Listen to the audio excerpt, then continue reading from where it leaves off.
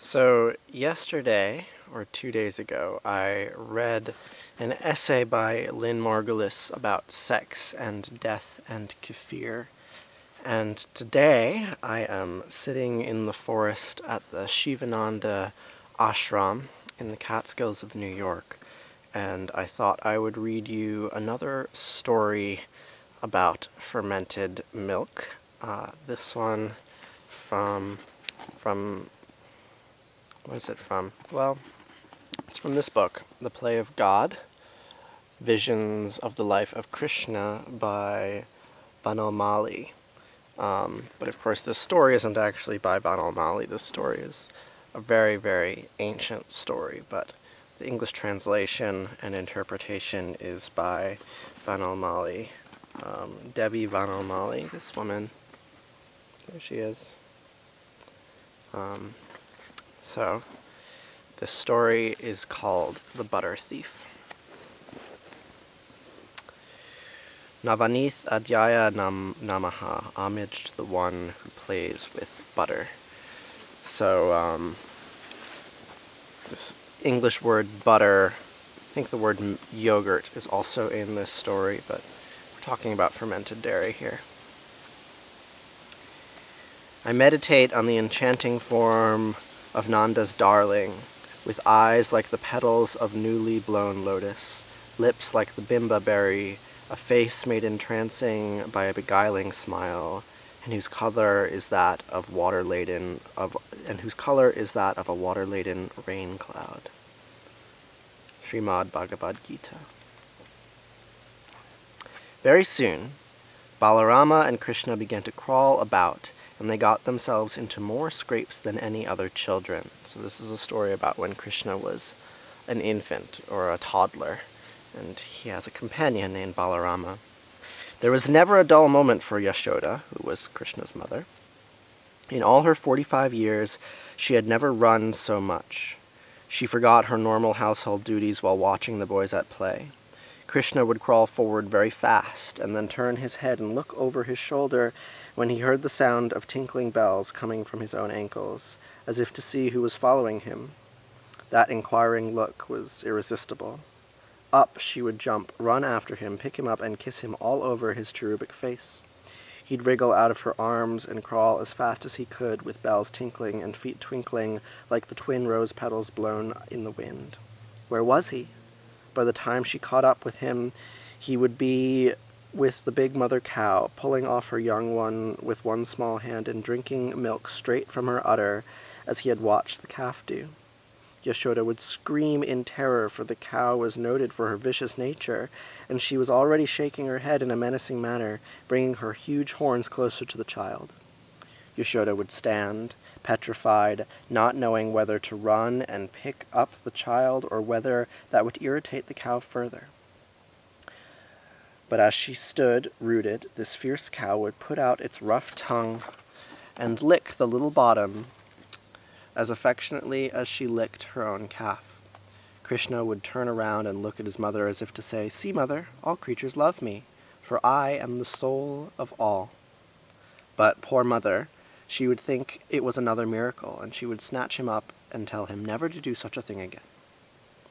So then he would follow her into the kitchen and put his hand into every pot until he came to the one with the butter, eating some and pasting the rest all over his face, and the little kittens would come mewing and lick his face with delight. The mother was now in a dilemma, not knowing whether to attend to her household duties or to watch the child.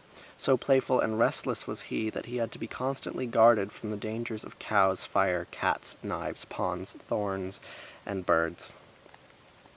Once he started to toddle, it was even worse. One day, Yashoda heard him call her excitedly, and she rushed out to see him hanging perilously over the well. Mother, mother, come and see, there's a little boy just like me in the well. Come take him out, mother. Yashoda rushed and caught him. Never do that again, she admonished, and ever after that, every time she drew water from the well, she would imagine his face peeping from the water. There was no mischief he was incapable of doing. The little hands were busy with everything. One moment he would be brandishing the kitchen knife, and the next he would try to pluck the hot coals from the fire. So, at every moment of the day, Yashoda kept running after him, and for the rest of her life to come, she continued to see his face everywhere in the coals, in the fire, in the water, near the cow, whether she was cutting vegetables or plucking flowers. Thus did he prepare her for the separation to come. This is a lesson to all housewives. It is difficult to fix our minds on a formless God while doing mundane tasks, but how easy to recall the mischievous exploits of that divine child, peeking and laughing at us in peeking and laughing at us and through our most tedious chores. In peeking and laughing at us in and through our most tedious chores. So that's an interesting point about religions that ultimately they're trying to get us to comprehend some sort of transcendent reality experience some sort of transcendent reality, but transcendent reality is formless. And so, very often, it is helpful to use an empathetic image. That's why these images of Jesus abound, even though the God he represents is formless. Same here with Krishna. It's a lot easier to empathize with a tiny mischievous boy than the abstract soul of the world. And so we have stories about a tiny mischievous boy, all the while keeping in mind that what he represents is the soul of the world. Sometimes, some of the other gopis would beg to be allowed to take him to their houses for the day, and Yashoda would, Yashoda would reluctantly agree, for she could not bear to be parted from him even for a moment. Once he had been taken to a house, he would go uninvited. In fact, he would steal into their houses like a rogue and help, him, help himself to their butter, their ghee, their curd, and their milk, which were their prized possessions. Such as his kindness, such is his kindness that once we invite him into our hearts, he'll come unbidden, steal the butter of our love, and bless us with the riches we have never asked for. One day, the gopis gathered together and began to speak of Krishna's pranks to his mother. The charges against him were numerous. He comes and releases the calves before milking time. He steals the butter, milk, and curd, and after consuming what he wants, he distributes it to his playmates, if they are there, or else to kittens and baby monkeys who follow him in the hopes of getting something. After he has had his fill, he breaks the pots. If we scold him, he laughs at us. What should we do to him? Why don't you give him what he wants? asked his doting mother. After all, he's only a child and he loves these things. Why don't you give him a glass of milk and some butter as soon as he comes? At the end of the month, you may present me the bill and I'll meet it. Oh, but we do give him, they chorused. We give him as much as such a small boy can eat, but still he comes into the house unseen and steals more. If we hang up the curd, he makes a hole at the bottom and drinks from below as it drips down. After he has finished, his friends drink the last drops and his friends drink, and the last drops are lapped up by the kittens. Another gopi took up the sad tale. Once I hung the milk pot so high that he couldn't reach it even with a stick, and you know what he did? He dragged a pounding stone from outside, I don't know how, and then he clambered up it, broke the pot with a stick, opened his little mouth, and stood there drinking the milk that was pouring down. Half of it went into his mouth, some over his body, and the rest on the floor, to the delight of the waiting kittens. Now look at him standing there, the picture of innocence having done so much mischief. Krishna was hiding behind his mother and peeping out, his face quivering with pretended fright, and his eyes anxiously rounded at the hearing of these accounts of his misdeeds. He was sucking a worried thumb and peeping anxiously at his mother's face to see how she was taking it. Yashoda's only response was to laugh. She could not bring herself to scold her darling for any reason. Never mind, she comforted the Gopis. I'll replace your mud pots with golden ones. Thus, each of them got a golden pot in lieu of the one he had broken, and this was exactly what he had wanted, for he wanted them to enjoy all the luxuries which were there in his own house. But still the complaints grew, so Yashoda started watching her little one very carefully to see when he went and perpetrated these misdeeds. She soon came to the conclusion that he could never have done any of the crimes that were being laid at his door, for the simple reason that he was never out of her sight for more than a few minutes at a time. Is it possible that these gopis are making up these stories to get golden pots? she wondered. Just then another gopi came with a different tale. Just listen to this, mother, she said. You know that I've been that I've started being very careful with my things and always keep them locked up so Krishna can't get them. Yesterday he was really angry when he found nothing to, to steal, so he gave a pinch to my little daughter and made her wake up and scream just as he was leaving. Krishna grinned when he had heard this, for that child was Radha, who was going to be his beloved playmate in the future, and he was asking her, Why are you wasting time sleeping when you should be concentrated on growing up? What knowledge can you have of happiness that makes what knowledge can you have of happiness that makes you smile now? I'll show you such delights that nothing else can be comparable. So saying, he had pinched her, and she had awakened squalling. Yashoda could not believe what the gopi was saying, so she said, Well, the next time he does something of that kind, just catch him and bring him to me, and I'll punish him. The gopi agreed doubtfully for she knew him to be a slippery customer. However, with little luck, she managed to catch him red handed the next day when he was actually standing with his hands in a pot of butter. She grabbed him by his buttery hands and dragged him to the house. Just as they reached the turning, he said, Look, what's this? She relaxed her hold and take a look, and poof, his buttery hand slipped out of her grasp, and off he went like a streak of blue light. She panted after him, but he was all quicksilver and she was all lead. She puffed into his house and found him sitting in his mother's lap on the swing, looking a picture of cherubic innocence. Aha! So this is where you have got to, is it? she asked. Look, Yashoda, I caught this child red-handed stealing butter hardly ten minutes ago, and I was dragging him here to show you. Just as we reached the turn, he was off like a shot, and now look at him sitting there as if butter wouldn't melt in his mouth. Yashoda looked at her in astonishment. She was sure that the gopi's powers of fabrication were enormous. What are you talking about? she asked. This child has been sitting in my lap listening to a story for the past hour. How can he possibly have been with you ten minutes ago? The gopi stared. She should have expected this, she thought resentfully. Naturally, the mother would side with her child. But what a barefaced lie! How could Yashoda make up such a story?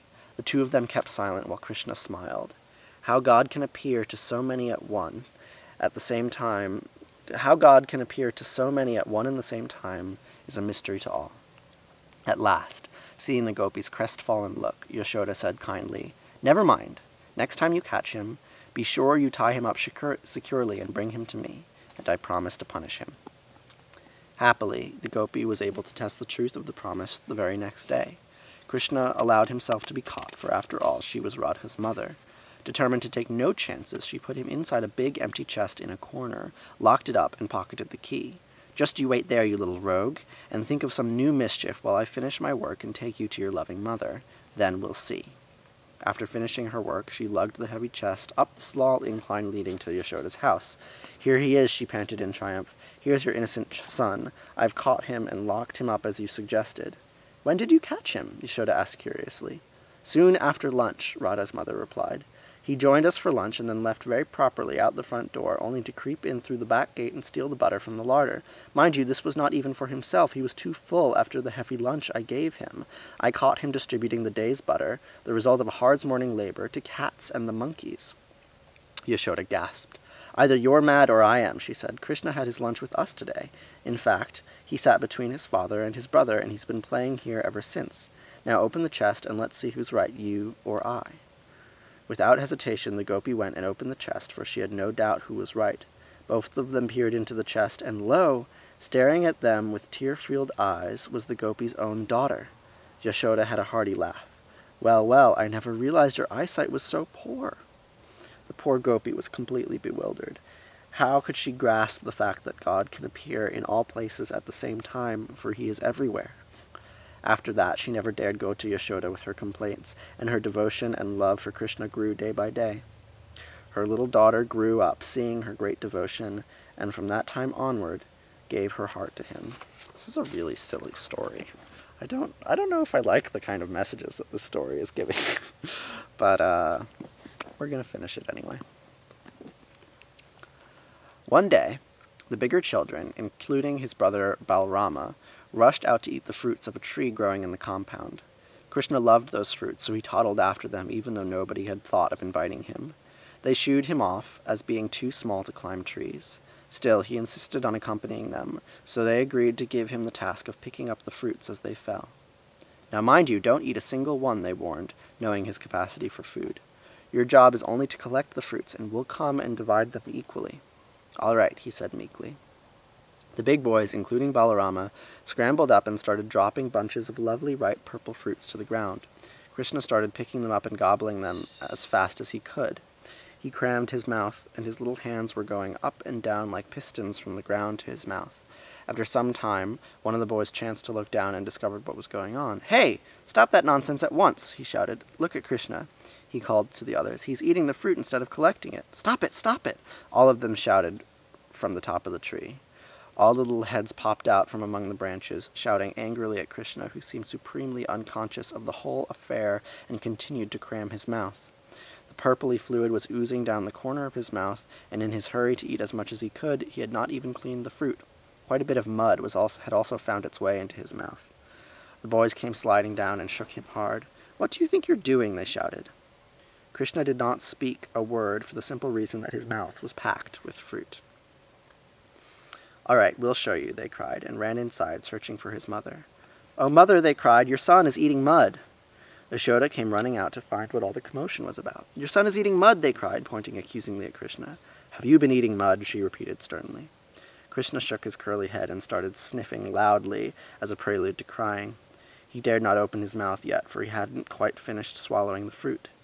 Ask him to open his mouth, mother, Balarama urged. Glare, Krishna glared at him as if he couldn't believe that his brother would stoop to such a low trick. Yes, ask him to open his mouth, the rest of the boys chorused. Open your mouth, Krishna, Yashoda said sternly. Krishna turned his limpid gaze on her. Have you forgotten what happened when you looked into my mouth the last time? was the unspoken question. She had indeed forgotten, or probably misunderstood. If so, the time was propitious for another lesson, or perhaps, he thought, if she wanted to see mud, she could have her fill of it. And the Lord, who had become a human child out of sport, without any loss of his divine powers, now opened his rosebud mouth. She bent forward to peer more closely, and lo, she felt herself to be whirling in space, lost in time, for inside the baby mouth was seen the whole universe of moving and unmoving creation, the earth and its mountains and oceans, the moon and the stars, and all the planets and regions. She was wonderstruck to see the land of Vraja and the village of Gokula, herself standing there with the child Krishna beside her, with a wide open mouth, and within that mouth another universe, and so on, and so on. Oh God, she thought, am I going mad, or is this a dream of magic wrought by this strange child of mine?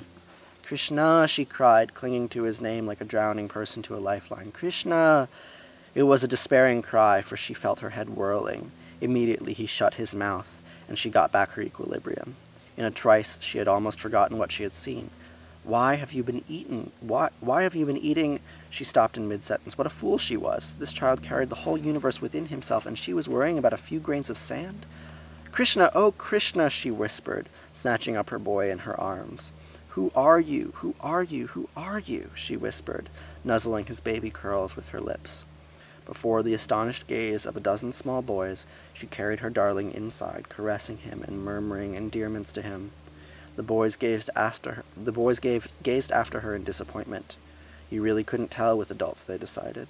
There was no saying how they would react.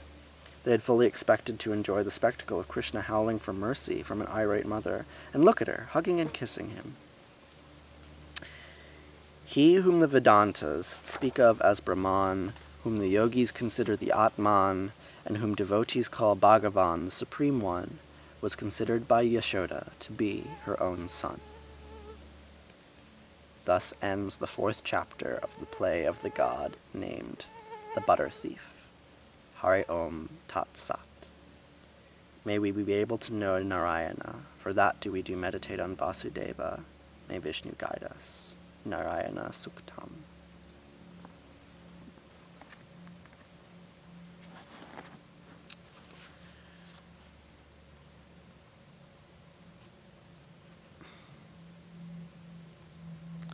So I don't necessarily want to be an apologist for for some of the um,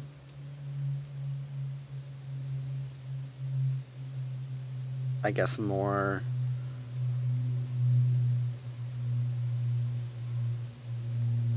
more conservative aspects of the story or like there's a moral about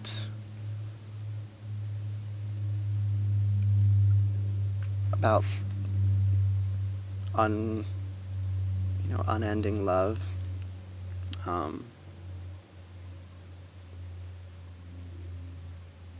love without terms.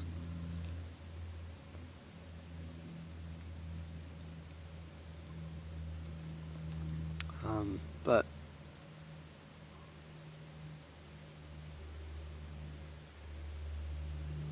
but I think it's an important story um, I think about it from time to time. I'm gonna upload another video about butter and yogurt and biology and cosmology and whatnot. that image. Let's read that image again.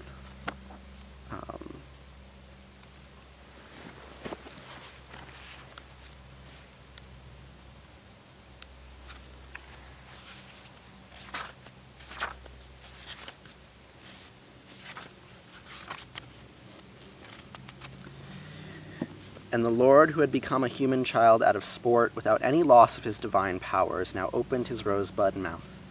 She bent forward to peer more closely, and lo, she felt herself to be whirling in space, lost in time, for inside the baby mouth was seen the whole universe of moving and unmoving creation, the earth and its mountains and oceans, the moon and stars, and all the planets and regions. She was wonderstruck to see the land of Vraja and the village of Gokula, herself standing there with the child Krishna beside her with a wide open mouth, and within that mouth another universe, and so on and so on. Oh God, she thought, am I going mad, or is this a dream of magic wrought by this strange child of mine? Krishna, she cried, clinging to his name like a drowning person to a lifeline. Krishna.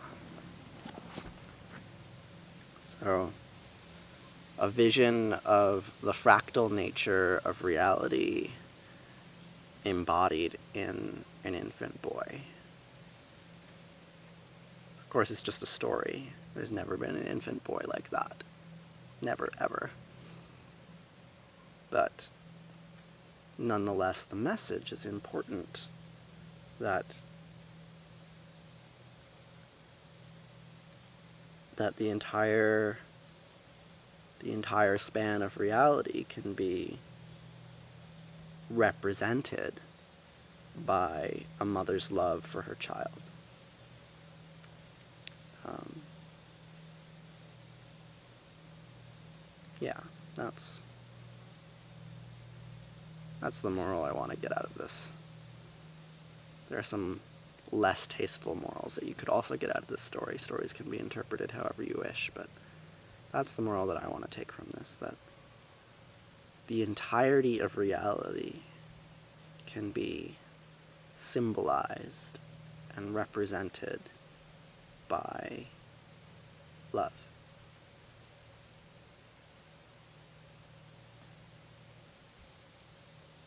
Not that an individual's love is all of reality, but it can represent it, can symbolize it, and point to it. That's what stories do. They, they point to things beyond themselves. Okay. See you later. Next time maybe we'll talk about the relationship between sex and death in Kefir and this story.